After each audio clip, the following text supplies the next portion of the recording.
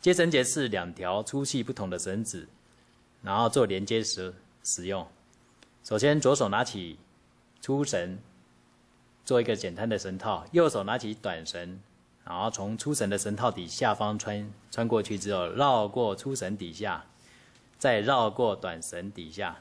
这是简单的接绳结。一般这种接绳简单的接绳结容易脱落，好，我们通常会做加强的打法，再多绕一圈。然后做加强的打法，